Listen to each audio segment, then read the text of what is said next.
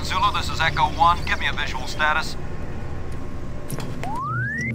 Echo 1, this is Recon Zulu. We've got massive damage all over the base. This place looks like hell. I've got life signs on the bioscanner. Eyes sharp. Echo 1, we've got a survivor, a Marine. Corporal, you hear me? You alright? Can you hear me? Echo 1, this is Recon Zulu. Prepare for medevac. Copy that. Have you located Counselor Swann? Yes, sir. He's dead. Roger, Recon 1. What about Dr. Betruger? He's nowhere to be found, sir.